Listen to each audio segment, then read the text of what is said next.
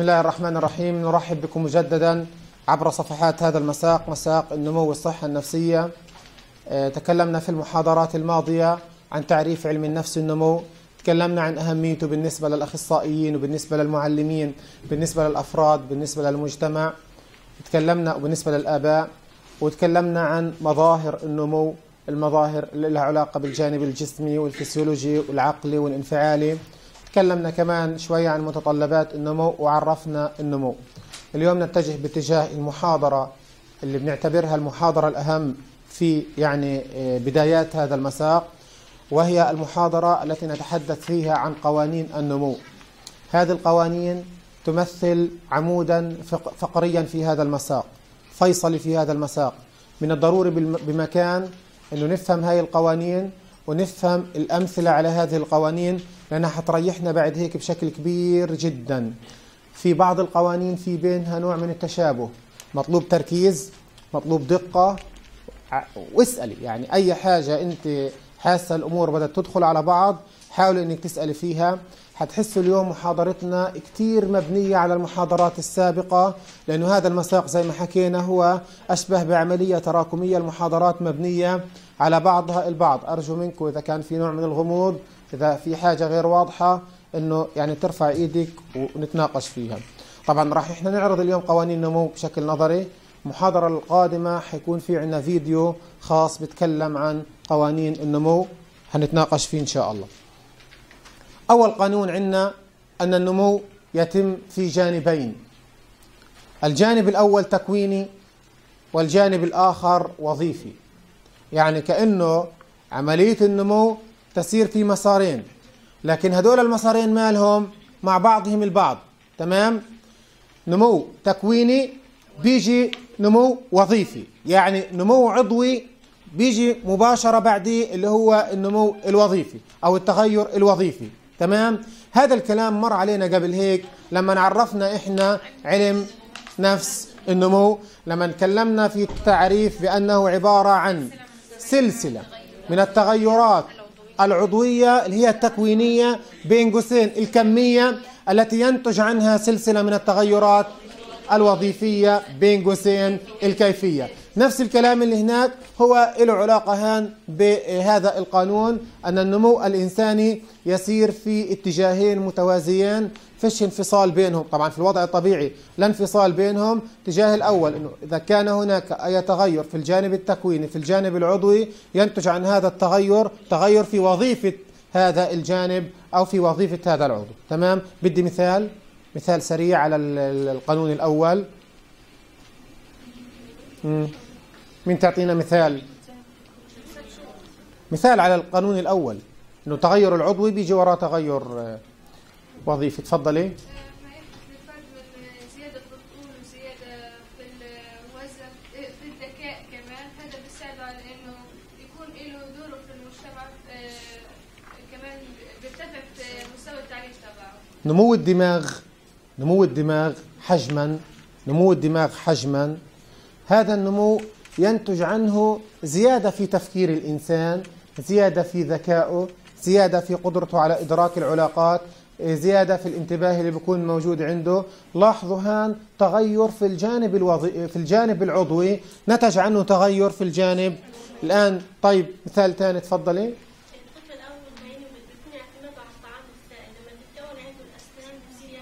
نعم ظهور الأسنان عند الطفل بمثابة تغير له علاقة بالجانب العضوي أو التك- التكويني. يترتب على ظهور الإنسان تناول الطفل للأطعمة. الصلبة. تمام؟ واضحة الفكرة؟ هذا بالنسبة للقانون الأول. أعتقد أنه مر علينا سابقا. طيب. القانون الثاني أن النمو يسير في عملية أو ضمن مراحل متتابعة متسلسلة. النمو الإنساني يسير ضمن مراحل فيها نوع من التسلسل. وهذا الكلام إحنا كمان حكينا عنه. برضو كمان لما عرفنا علم النفس النمو تحت بند كلمة سلسلة. آه سلسلة. تمام؟ إيش يعني القانون الثاني؟ عملية متتابعة. تفضلي آه، أنا نمو آه، عملية متابعة تبدأ من آه، إنه من مرحلة آه، يعني أولى إلى مرحلة أخيرة. آه، يجب أن تكون هذه المراحل متتابعة ويجب أن يمر الإنسان بجميع هذه المراحل. آه، وأيضا آه، هذه المراحل تكون آه، عند الانتقال من مرحلة لمرحله تكون نوعا ما متداخلة فيصعب التمييز بين كل شوية بس. موضوع التداخل مش هان مكانه. يعني أنت مشيتي كويس تمام. موضوع التداخل حنروح أنا أقصد إنه يصعب التمييز بين كل تمام. مرحلة مش بسهولة بتبين كلا- كلام جميل. موضوع التتابع مرة ثانية كمان مين حابة هناك؟ تفضلي أي أن النمو عملية متتابعة تتم من خلال مراحل يجب على الفرد أن يمر بجميع هذه المراحل وكل مرحلة تعتمد على المرحلة السابقة. تمام. يعني مثلا نأخذ مثال على نمو الحركة عند الطفل. طفل بحرك راسه بيرفع راسه بيقلب على ظهره بعد هيك بيكون في عنده قدرة على الجلوس بعد هيك بيقف بمساعدة آخرين يقف لوحده يمشي يجري يصعد الدرج. لاحظوا هان في نوع من التسلسل في النمو. ما بصيرش إنه أول ما ينولد يطلع الدرج وينزل وبعدين يرجع لعملية يز- يزحف. ما بصيرش من ناحية منطقية.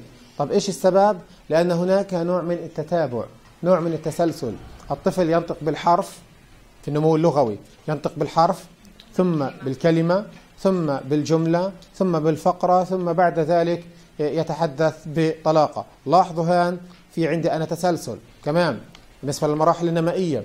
عندك مرحلة الطفل الجنين الطفل الوليد أو الرضيع طفولة مبكرة متوسطة متأخرة مراهقة مبكرة متوسطة متأخرة. شباب أنا هان قاعد بتكلم يا جماعة عن نوع من التسلسل نوع من التتابع. واضح الكلام هذا؟ اذا النمو الإنساني يسير ضمن عملية متسلسلة متتابعة.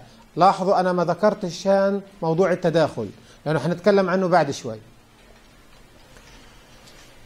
تختلف سرعة النمو من مرحلة نمائية إلى أخرى.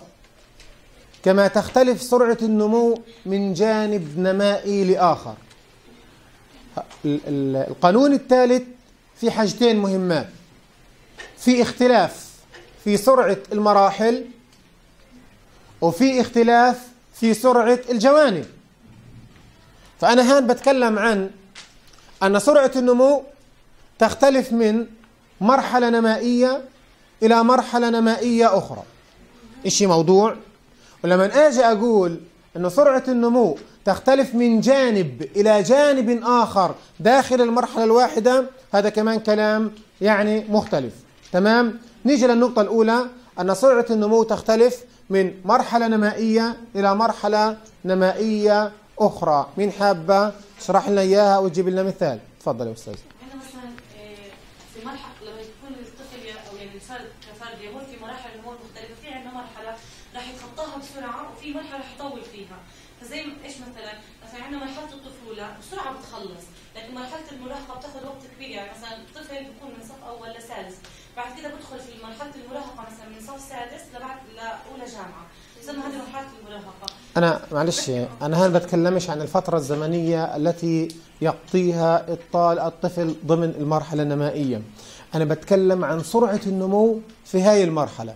سرعة النمو في هاي المرحلة مقارنة في المراحل الثانية. تمام؟ تفضلي. هلقتها هو الطفل هو مدة الحمل تبعته بيزيد تقريبا المعدل تبعه 50 سنتي متر و- والنمو تبعه المفروض 3 كيلو. نعم. أما في الطفولة المعدل الاساسي تبعه 7 كيلو 7 كيلو جرام وال 70 يعني, يعني أنت أخذت كمثال النمو الجسمي آه تمام. تعالوا نشوف الطفل الطفل الجنين. بنلاقي النمو الجسمي عنده ماله يا جماعة؟ سريع جدا. سريع جدا.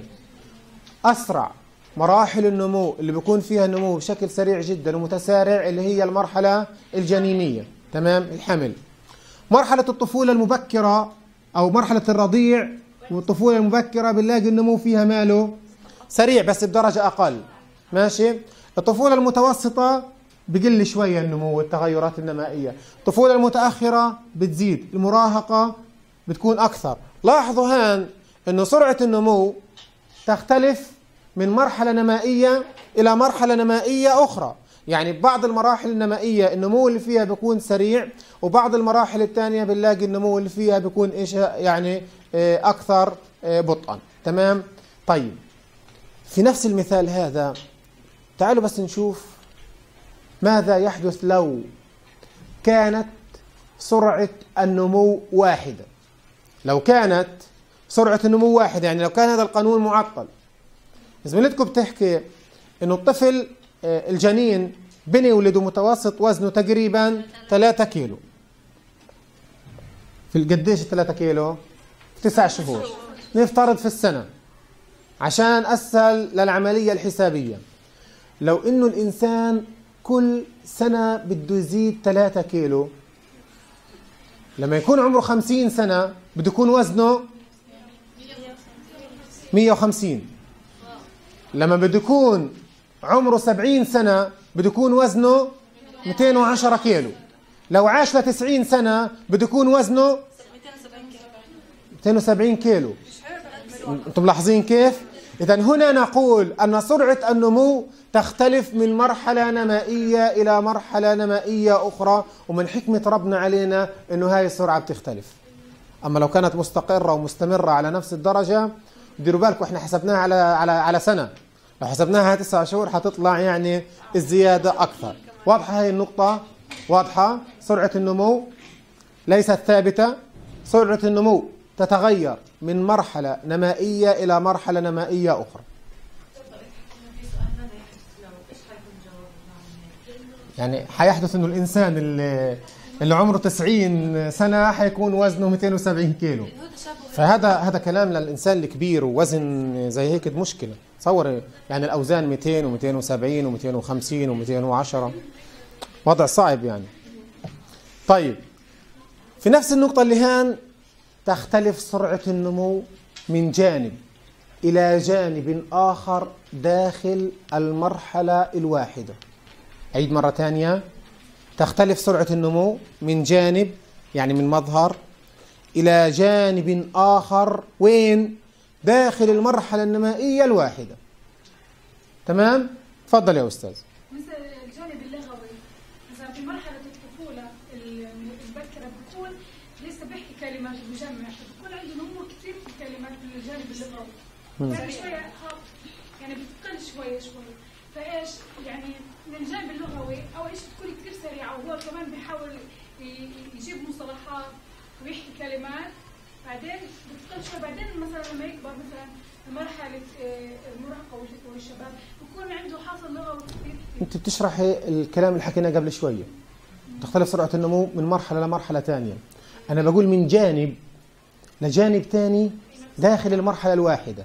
من جانب لجانب داخل المرحلة الواحدة. تفضلي مثلا في مرحلة المراهقة بيزداد عند الشخص آه، الطول مثلا بشكل كبير لكن آه، زيادة في الطول ما بصيرش مثلا الزيادة هذه نفسها في الدماغ أو نسبة الذكاء ممتازة رائعة جدا. يعني نيجي للمثال اللي هي حكته.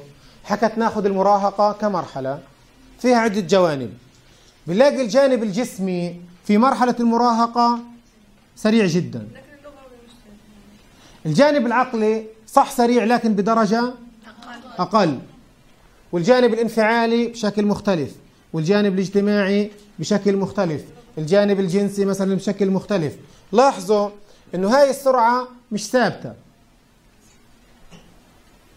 مختلفة. تختلف سرعة النمو من جانب إلى جانب آخر داخل المرحلة النمائية الواحدة اللي إحنا ضربنا عليها مثال هنا كانت مرحلة المراهقة. ماشي؟ يعني تعالوا طفل الجنين النمو الجسمي عنده بيكون سريع. طب النمو اللغوي؟ مختلف صح؟ في الشيء. النمو الانفعالي؟ مختلف. النمو الفسيولوجي؟ آه موجود. اذا سرعة النمو تختلف من جانب إلى جانب آخر داخل المرحلة الواحدة أو في نفس ممكن يكون العكس كيف؟ أنا أنا كمثال ضربته في مرحلة المراهقة. آه. في مرحلة المراهقة؟ لا. في مرحلة المراهقة؟ لا ما بصيرش. ليش؟ لأنه لاحظ أنت في مرحلة المراهقة يصل الإنسان إلى أقصى درجة من مثلا الطول أو البلوغ. بيصل بعد هيك بعد هيك بيجي النمو العقلي. بصير يزيد يزيد يزيد يزيد يزيد. في النهاية ممكن يتساوى النمو العقلي مع النمو الجسمي ممكن يكون أقل وممكن يكون أكثر. ممكن يكون أكثر. بس أنا قاعد بتكلم عن السرعة يعني مين إيه إيه أسرع في النمو. اللي بيسرع يا جماعة اللي بيصل إنه النمو الجسمي سريع جدا. النمو العقلي سرعته أبطأ تمام؟ هذا مش معناه إنه الفجوة حتكون زي هيك. الآن النمو الجسمي راح يتوقف. على سن 16 سنة 17 سنة النمو الجسمي راح يتوقف. النمو العقلي بضله شغال. بيزيد بيزيد بيزيد. طبعا حسب القدرات والإمكانيات وحسب الظروف البيئية. لربما يتناسب ويتناغم العمر العقلي مع العمر الزمني. وهذا في النهاية الإنسان بنسميه إحنا متوسط الذكاء. إذا تساوى العم- العمر العقلي مع العمر الزمني. وممكن العمر العقلي يكون أعلى من العمر الزمني بنسميه إنسان موهوب أو إنسان متفوق. تمام؟ وممكن يكون أقل شوية طبعا كل إنسان. صحيح. الجانب العقلي نوعين. تمام؟ نمو العقلي نوعين. في الجانب العقلي اللي له علاقة بالوراثة هذا بتوقف لعند سن 17 سنة 18 سنة حسب الاختلاف. بينما الذكاء اللي له علاقة بالجانب البيئي يبقى مستمر ينمو ويستمر ولا يتوقف. فإحنا ذكائنا هو محصلة للعامل الوراثي والعامل البيئي. العامل الوراثي ينمو ذكاء الإنسان إلى حد معين ثم يتوقف. بس هذا مش معناه أن ذكاء أو نمو الذكاء سيتوقف. لا بعد ذلك دور العامل البيئي إما أن يساهم في الزيادة أو خلاص يقف عند هذا الجانب. إذا القانون الأول والثاني والثالث. وضحت في شيء بده إعادة؟ تسألي فيهم؟ في مرحلة المراهقة إحنا قلنا النمو العقلي مستحيل يتجاوز النمو الجسمي، يعني أول شيء الجسمي بعدين العقلي، طب في مرحلة أنا أنا تكلمت كسرعة. أنا بتكلم هان كسرعة. كسرعة كسرعة لاحظوا معي يبدو هذه النقطة فيها نوع من الغموض. السرعة النمو النمو الجسمي أسرع. تلاقي النمو الجسمي هان والنمو العقلي هان إذا تختلف سرعة النمو. سرعة. في نهاية مرحلة أو يعني عند حد معين حنلاقي النمو الجسمي وقف. هذا مش معناه النمو العقلي بضل واقف فان بعد هيك بضل يزيد يزيد يزيد يزيد. ممكن تصير هان وممكن أعلى وممكن أقل. لكن أنا بتكلم عن سرعة النمو. السرعة يعني مين بيكون أسرع في النمو؟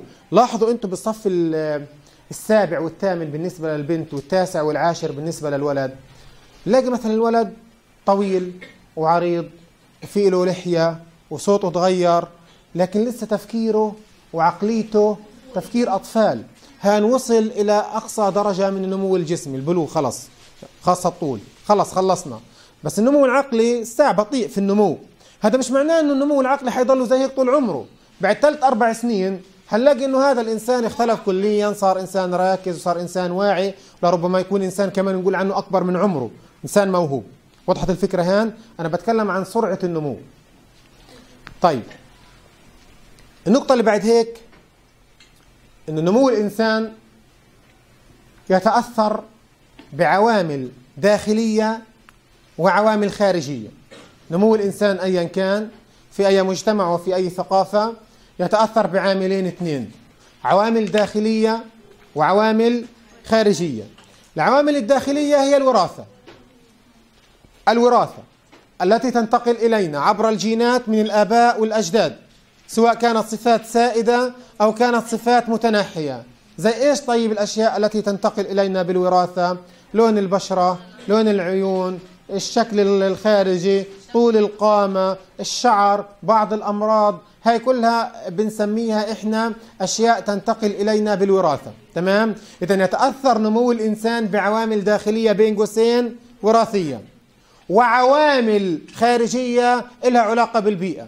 البيئة الثقافة والمجتمع واللغة ووسائل الإعلام والقنوات الفضائية والتواصل الاجتماعي والتربية والتعليم والمدارس والمؤسسات والمجتمع. هاي الأمور كلها مع بعض العوامل الوراثية الداخلية مع العوامل الخارجية بتتفاعل مع بعض فأنتجت شخصيتي. وأنتجت شخصيتك. شخصية الأخرى والأخرى والأخرى. فكل شخصية فينا إحنا هان هي نتيجة لتفاعل العوامل الوراثية مع العوامل البيئية. بالمناسبة هان بعض الأشياء اللي لها علاقة بنمو الإنسان تتفاعل بدرجة أكثر مع العوامل الوراثية زي الجانب الجسمي. الجانب الجسمي بتأثر أكثر بالوراثة تمام؟ الجانب العقلي لا.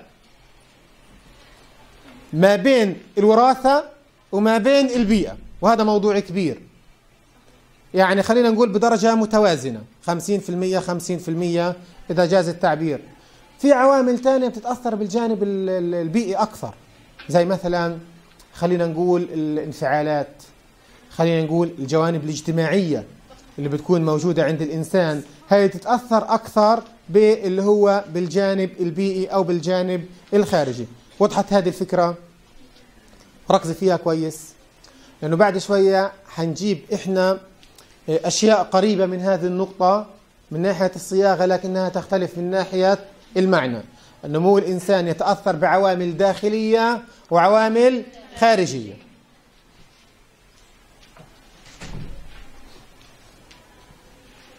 طيب. ينمو الإنسان نموا داخليا. هذا قانون جديد. يختلف عن القانون السابق. ينمو الإنسان نمو- نموا داخليا. عندما تحدث عملية الإخصاب تنتج لنا البويضة المخصب. إزاي؟ ثم تنقسم. تصير تنتين. ثم تنقسم. بتصير أربعة. بتصير ثمانية. بتصير 16 بتصير مضغة. بيبدأ الإنسان يتشكل. بتزيد يعني هذه الخلايا تزداد انقساما وفي نفس الوقت تزداد حجما.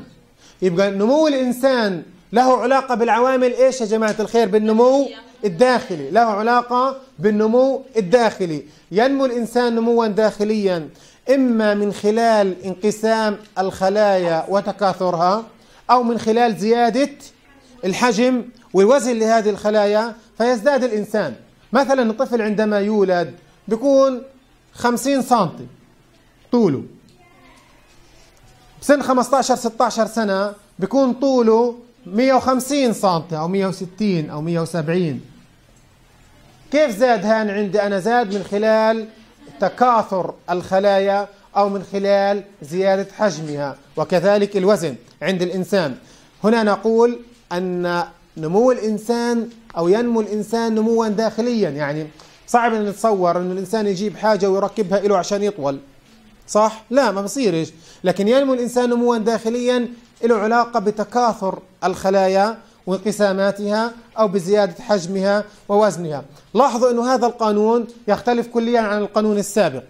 القانون السابق يتأثر نمو الإنسان بعوامل داخلية وخارجية. هناك بنتكلم عن وراثة وبيئة بس هان ينمو الإنسان نموا داخليا من خلال الانقسام والتكاثر أو من خلال زيادة الحجم والوزن. اثنين وضحات هنا. قانونين هذول وضحات. تمام. طيب القانون اللي بعد شوية إذا بتلاحظوا القوانين مبنية على محاضراتنا السابقة. جزء كبير منها مبني على محاضراتنا السابقة لأنه هذا المساق بالأساس عملية إيش؟ تراكمية. المحاضرات بنلاقيها مبنية على بعض. يمكن الطالبات الجداد اللي ما حضروش معانا آه، بحسوا بنوع من ال- الصعوبة يعني في في فجوة معينة بتصير معاهم. الطالبات اللي كانوا ماشيات عادي بحسوا بفرق. هذه النقطة أخذناها. جوانب النمو متداخلة مع بعضها البعض. مين يشرح لنا هاي ال- العبارة وهذا القانون؟ جوانب أو مظاهر النمو متداخلة مع بعضها البعض. يمكن صار لنا ثلاث محاضرات بنتكلم في نفس ال- الجهة أو في نفس المجال. بدنا ناس جداد لو سمحتوا. تفضل يا أستاذ. النمو اللغوي في مرحلة من المراحل في النمو الاجتماعي. مثلا الطفل أول ما يبدأ يتكلم تكون علاقته الاجتماعية مع الآخرين تبدا تتكون بشكل. بشكل يمكن ملاحظته يعني.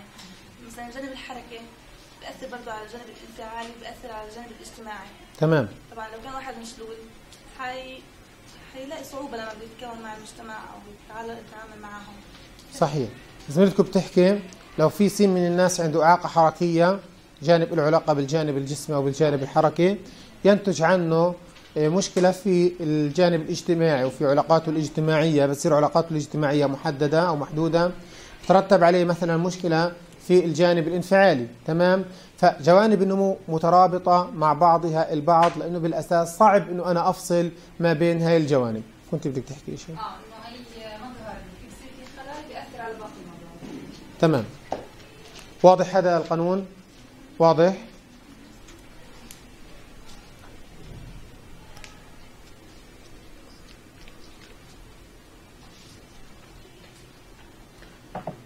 القانون اللي بعد هيك يخضع النمو لمبدأ الفروق الفردية.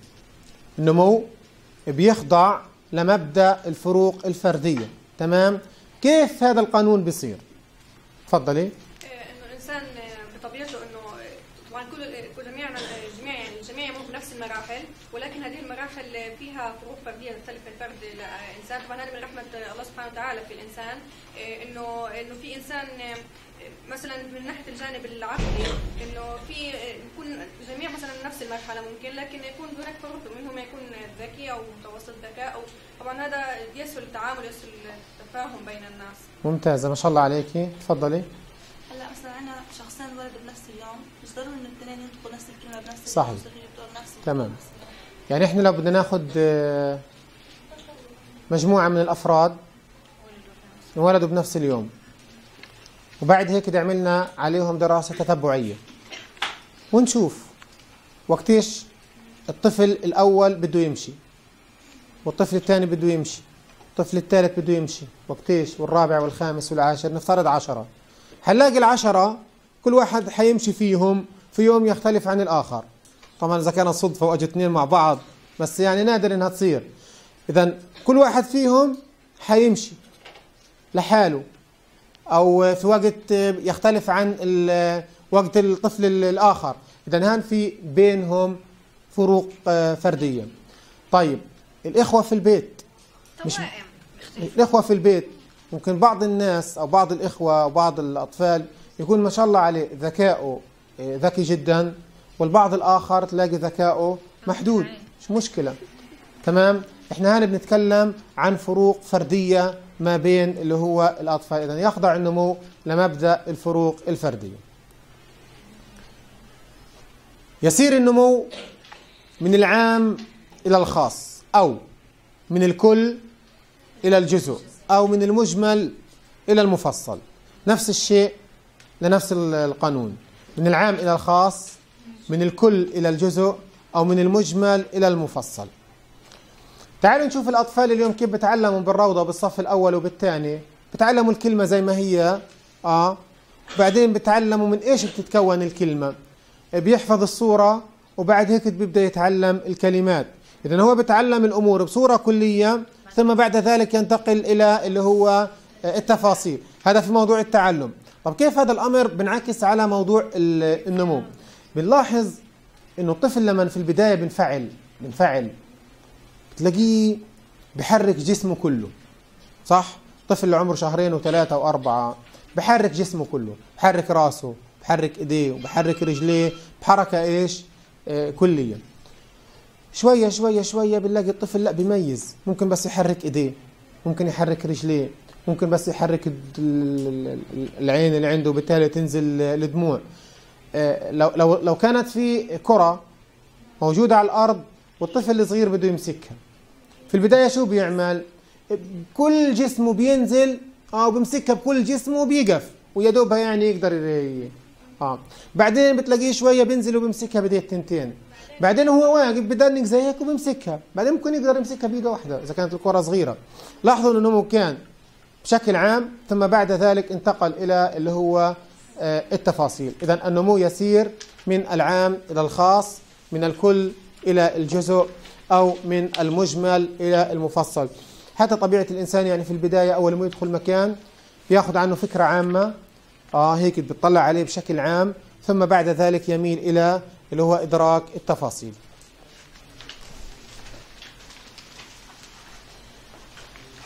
قانون قبل الأخير يتكون من حاجتين. أن النمو